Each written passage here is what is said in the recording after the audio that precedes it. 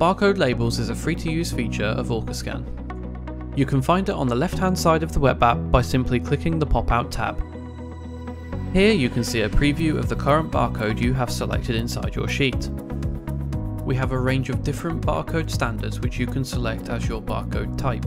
If you select a type that your barcode does not support, OrcaScan will tell you the reason why that barcode is not supported.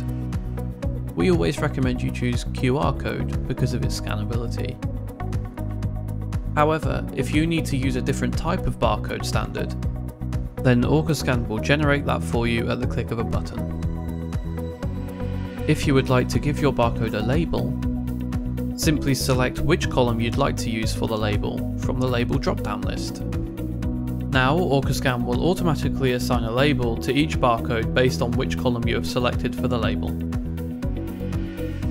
The barcode locked button means that no matter what cell you have selected in OrcaScan, it will always show you the barcode at the beginning of that row.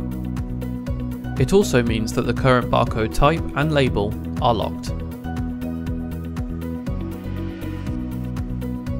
You can click the download images button to download an SVG for websites or Photoshop, or use the print labels button which allows you to download your barcodes in all different shapes and sizes.